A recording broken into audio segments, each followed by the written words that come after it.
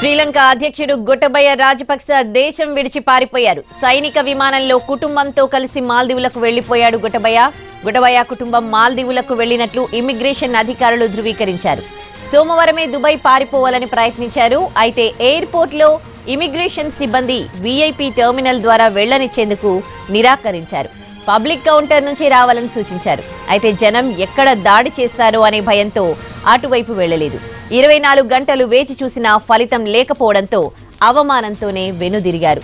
తమకు దేశం విడిచి వెళ్ళేందుకు అనుమతి ఇస్తేనే రాజీనామా చేస్తానని తెగేసి చెప్పారు. దీంతో లంక విదేశాంగ శాఖ గ్రీన్ సిగ్నల్ ఇచ్చింది.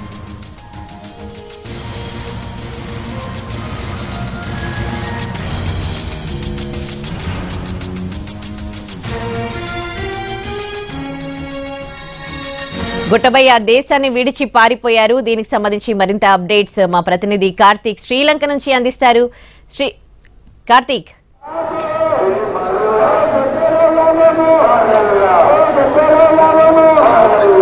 ఎస్ రైట్ ఎట్టికేలకు ఏదైతే శ్రీలంక వాసుల యొక్క లక్ష్యం కాస్త నెరవేరిందనే చెప్పుకోవాలి. ప్రధానంగా ఉన్నటువంటి రాజపక్షేని రాజీనామా చేయాలి. అటు తర్వాత అతను దేశం వదిలి వెళ్ళగొట్టాలి లేదంటే మా చేతికి అప్పచెప్పాలి అన్న వాదన ఏదైతే ఉందో ఆ వాదనకు ఈ రోజు నిజమైందనే చెప్పుకోవచ్చు. కొద్ది కొన్ని గంటల క్రితమే ఏదైతే రాజపక్షే మాల్దీవ్స్కు పారిపోయినట్టుగా కూడా తెలుస్తుంది. కుటుంబ సభ్యులతో పాటు దాదాపు పదిహేను మంది కుటుంబ సభ్యులతో అందరితో కలిసి ఆయన వెళ్ళిపోవడం కూడా జరిగింది. అయితే అంతకంటే ముందుగానే దుబాయ్ వెళ్ళాలనుకున్నప్పటికీ కూడా అది ఎట్టి పరిస్థితుల్లోనూ కుదరని పరిస్థితిగా మారినటువంటి నేపథ్యంలో ఏదైతే మాల్దీవులకు అయితే సేఫ్గా అనుకుని అక్కడికి వెళ్ళినట్టుగా కూడా తెలుస్తుంది. అందుకు ఏదైతే శ్రీలంక విదేశ సంఘ విదేశీ శాఖ కూడా సహకరించినట్టుగా కూడా తెలుస్తుంది. అయితే ఇప్పటికి అంతటికీ కూడా రాజీనామా చేశారా అన్నది మాత్రం చాలా ఆసక్తికరంగా మారినటువంటి నేపథ్యంలో ఆందోళన అయితే ఒకవైపు పార్లమెంట్ ఏదైతే ఓల్డ్ పార్లమెంట్ బయట కొనసాగుతూనే ఉంది. ఆందోళనకారులు అందరూ కూడా ఇక్కడే కూర్చొని గొటబయ్య రాజపక్షే కుటుంబానికి వ్యతిరేకంగా ఆందోళనలు అయితే కొనసాగిస్తూనే ఉన్నారు. ఇది ఈ సమయంలోనే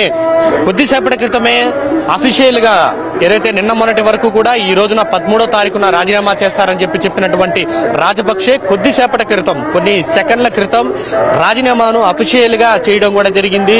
ఆ రాజీనామా చేస్తున్నటువంటి లేఖను స్పీకర్కు కూడా అందించినట్టుగా కూడా తెలుస్తుంది. సో ఈ నేపథ్యంలోనే పూర్తి స్థాయిలో ఒక క్లారిటీ అయితే వచ్చింది. రాజీనామా రాజపక్ష అయితే రాజీనామా చేశారు. దాని తర్వాత తదుపరి రాజకీయ ఏదైతే శ్రీలంకను నడిపించే నాయకుడు ఎవరు అనే దాని మీద కూడా ఉత్కంఠతగా నెలకొందని చెప్పుకోవచ్చు. అయితే కొత్త అధ్యక్షుడిగా తాత్కాలిక అధ్యక్షుడిగా ప్రతిపక్ష నేతగా ఉన్నటువంటి సతీష్ బ్రహ్మదాసిని ఎన్నుకునే అవకాశాలు అయితే చాలా స్పష్టంగా ఉన్నాయి. అయితే అంతకంటే ముందుగానే రణవీల్ విక్రమ్ సింగ్ పేరు కూడా వచ్చినప్పటికీ కూడా అది వర్కౌట్ కానటువంటి పరిస్థితిగా ఏర్పడిందని చెప్పుకోవచ్చు. అయితే మరొక వైపు ఎక్కడ చూసినా సరే క్యూలు అయితే కనబడుతున్నాయి.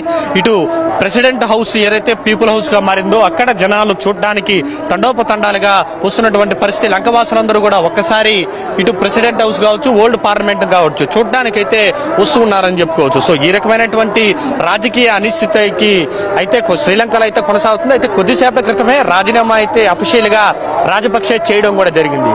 సో కాస్త శ్రీలంక వాసుల లక్ష్యం నెరవేరినప్పటికీ ఇక పూర్తి స్థాయిలో దాని తదుపరి లక్ష్యం ఏ విధంగా ఉండబోతుంది? శ్రీలంక రాజకీయ పరిస్థితులు ఏ విధంగా- ఏ విధంగా ఉంటాయి? దేశ ఆర్థిక పరిస్థితిని ముందుకు నడిపించే నేత ఎవరు అన్న దాని మీద మాత్రం మరికొంత గంటల్లోనే క్లారిటీ వచ్చే అవకాశం ఉంటుంది. అయితే విపక్షాలు మాత్రం ప్రస్తుతానికి ప్రతిపక్ష నేతగా ఉన్నటువంటి సతీష్ ప్రేమదాసిని అయితే ఎన్నుకోవడం కూడా జరిగినట్టుగా కూడా వార్తలు వస్తున్నాయి. మరి చూడాలి అక్కడితో ఆగుతారా లేదంటే ఇంకేదైనా కొత్త యాక్షన్ ప్లాన్తో ముందుకు వెళ్తారా? అందరూ కలిసి ఇంకొకరు ఎవరైనా కొత్త నేతను ఎన్నుకునే అవకాశం ఉంటుందా అన్నది అక్షయ?